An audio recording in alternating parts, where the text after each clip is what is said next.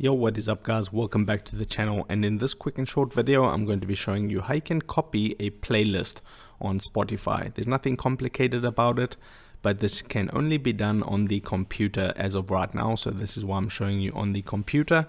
So I'm just going to go up here and select a playlist right here. So now I'm on my playlist. Now if I want to copy this specific playlist all I would need to do is click on the first song or any one of the songs I'll just click on the first one. And then what you want to do if you want to do this you want to put you want to tap you want to click control and then A on your keyboard.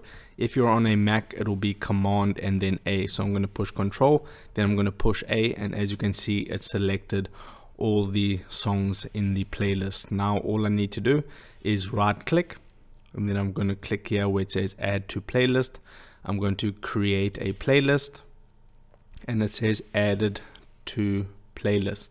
Okay, so now to find the playlist, the playlist has now been created. To find that specific playlist, you can see the first name of the song that I right clicked on was called Wasted. So it created a playlist called Wasted and I did it twice for some reason. But you would click on that playlist and here's the exact same copy of that playlist.